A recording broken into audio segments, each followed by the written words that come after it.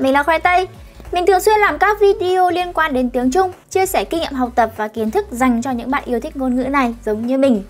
Và để kỷ niệm chào mừng ngày mùng 1 tháng 6 Quốc tế Thiếu Nhi thì mình là một cựu thiếu nhi sẽ giới thiệu, nhắc nhớ, gợi nhớ, liệt kê, kể lại một vài những bộ phim hoạt hình là tuổi thơ của thế hệ 8X 9X chúng mình. Và tất nhiên bởi vì kênh của tớ là kênh tiếng Trung Thế nên tất cả những bộ phim hoạt hình này cũng sẽ là phim hoạt hình của Trung Quốc. Và nếu như bạn là người đang bắt đầu học tiếng Trung, bạn đang muốn tìm một bộ phim hoạt hình nào đó bằng tiếng Trung để luyện nghe thì đây cũng đều là những bộ phim hoạt hình phù hợp với các bạn. Và nếu như trong danh sách này có những bộ phim hoạt hình khiến cho bạn cảm thấy quá là quen thuộc và bạn đã từng xem rồi thì tức là bạn đã già rồi đấy.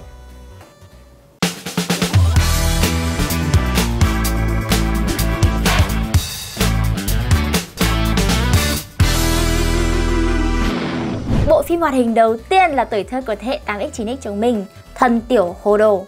Thần Tiểu Hồ Đồ có tên tiếng Trung là Xiao Hú Thủ Sấn, là một bộ phim hoạt hình hài hước xoay quanh cuộc sống hàng ngày của Tiểu Bảo và ba bố con ông cháu Thần Tiểu Hồ Đồ. Với câu thoại kinh điển, hồ đồ vàng, hồ đồ bạc cũng không bằng lão hồ đồ nhà ta. Chinh hú thụ, như hú thụ, tỷ bú sảng dán ra lão hú thụ. Mình nhớ là bộ phim hoạt hình này đã từng được chiếu ở trên VTV3 vào cái hồi mà mình còn đang học tiểu học. Nói chung là bọn trẻ con chúng mình hầu hết là cũng đều thích cái bộ phim này. Rất tiếc là hiện nay ở trên Youtube thì tớ không tìm được cái playlist này kiểu full bộ ấy.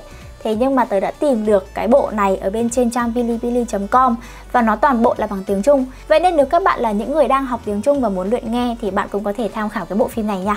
Cơ mà chất lượng hình ảnh của nó thì không tốt đâu, Tại vì phim nó cũng cũ quá rồi. Bộ số 2 Hồ Lô Biến. Quá kinh điển. Cái bộ này thì tên tiếng Trung người ta sẽ gọi là Hú Lù Siêu Tị và ngoài ra cũng có tên là Hú Lù Quá. Câu chuyện kể về một ông lão hiền lành, cô độc, hàng ngày lên núi để hái thảo dược. Có một hôm thì ông cứu được một con tê tê ở bên trong hang núi và con tê tê còn nói với ông lão là trong cái quá trình đào đất ấy, thì nó không may đã đào và phá vỡ một cái phong ấn của hai con yêu quái mà hai con đại yêu quái, hai con yêu quái mạnh vãi trưởng ra. Thế rồi con tê tê dẫn ông lão vào sâu trong núi nhặt về một hạt giống mà nghe bảo là đây cái hạt giống này ấy, có thể xử lý và diệt được hai con yêu quái kia. Ông lão đem cái hạt giống này về trồng ở trước sân vườn và sau đó thì nó mọc lên một dàn hồ lô bao gồm 7 quả với 7 sắc cầu vồng mỗi quả là một màu và những cái quả hồ lô đó sau khi chín ấy thì rụng xuống và nở ra được 7 cậu bé có thần thông. 7 cậu bé thì bao gồm anh cả đại oa là người có thể biến thành khổng lồ, nhị oa là người có thiên lý nhãn và thuận phong nhĩ, có nghĩa là nhìn và nghe được từ rất là xa. Tam oa là người có kiểu mình đồng ra sắt. Tứ oa là có thể phun lửa và phun ra sấm sét Ngũ oa là người có thể phun ra nước, Lục oa là người có thể tàng hình Và thất oa thì không có năng lực gì quá đặc biệt. Nhưng bản thân nó lại có kèm theo hàng nóng.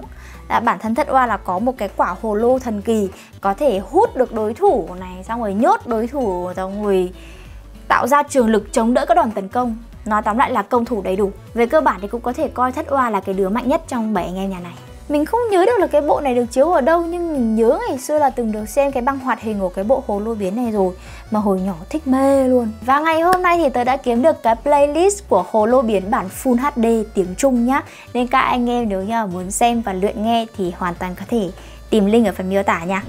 Bộ số 3 Cảnh sát mèo đen Tên tiếng Trung của nó là Khơi mau Chiến Trạng Là một bộ phim hoạt hình ra đời từ năm 1984 Tức là già hơn tớ cả đống tuổi luôn cái phim hoạt hình này thì nó chỉ có khoảng 5 tập thôi Nhưng mình nhớ là ngày xưa mình đã từng đọc cái truyện tranh của cảnh sát mèo đen này ở trên báo Nhi Đồng. Hồi đấy là khoảng tầm độ mình học lớp 3, lớp 4 gì đấy. Nói chung là bé lắm. Phim nói về một đội cảnh sát mèo với nhân vật chính là cảnh sát mèo đen Cùng nhau chiến đấu, bảo vệ khu rừng, bảo vệ trị an và đấm nhau với tội phạm đây là một cái bộ phim mà có thể khiến cho anh chị em trong nhà gây được hiềm khích. Vì ngày xưa mình với anh trai mình còn đấm nhau để nhận xem đứa nào làm cảnh sát mèo đen cơ mà. Bộ số 4 Tây Du Ký. À nhưng mà không phải là Tây Du Ký người đóng đâu Mà là Tây Du Ký hoạt hình nha anh em. Cái bộ Tây Du Ký hoạt hình này được phát hành vào năm 1999 Cái bộ này có cái quả nhạc dạo đầu mà nghe nó đỉnh dã man luôn. Mình còn nhớ bộ này là ngày xưa được chiếu vào khung giờ trưa ở bên trên VTV3 bởi vì mỗi lần mà mình đi học về nhá là mình học tốc sốc gan mình phi ngay vào trong bếp để mình xem cái bộ hoạt hình này. Nói chung là hồi đấy xem thì cũng mê phê thích thật. Phim là bao gồm 52 tập. Cốt truyện thì cũng không có gì quá là mới lạ so với cái bản Tây Du Ký phim cả. Thế nhưng mà xem thì cũng phê phết. Và bộ cuối cùng, truyền kỳ Na Cha, có tên tiếng Trung là Nứa Cha Choán Chí. Bộ phim này được phát hành vào năm 2003, có tổng cộng 52 tập. Câu chuyện chính xoay quanh về nhân vật Na Cha của chúng ta kể từ khi sinh ra cho đến khi chết đi, xong lại được hồi sinh lại, thì xong rồi à đánh đấm tung hoành các thứ. Vẫn nói tóm lại thì nếu như mà các bạn ở thế hệ 8X, 9X mình tin là các bạn đã từng xem cái bộ phim này rồi Mình nhớ là cũng được chiếu ở trên khoảng VTV3 thì phải Mình nhớ là như vậy và cũng phải nói cái bộ phim này hồi đấy ở cái thời đấy nét vẽ này đỉnh thật. Na cha trong bộ này là crush đời đầu của tôi luôn đấy các anh em ạ. Và sau này khi mà tớ bắt đầu học tiếng Trung Ở cái tầm trình độ nghe sơ cấp hoặc là sơ trung thôi Thì tớ cũng đã quay lại để xem lại những bộ hoạt hình này.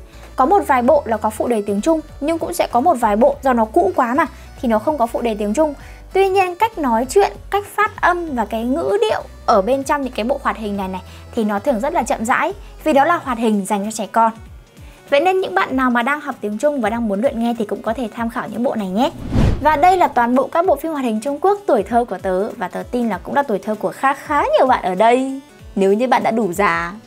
Và video của mình đến đây đã là kết thúc rồi. Hẹn gặp lại các bạn trong các video tiếp theo. Bye bye! À chết quên mất Hiện nay ngoài hoạt động ở trên Youtube thì mình có hoạt động ở trên TikTok, Facebook, Instagram Và tất cả các cái tên của mình trên các nền tảng đó đều là khoai tây yêu tiếng Trung Nếu các bạn yêu thích mình và yêu thích tiếng Trung thì hãy follow mình nhé Còn bây giờ thì chào các bạn, chào thật Bye bye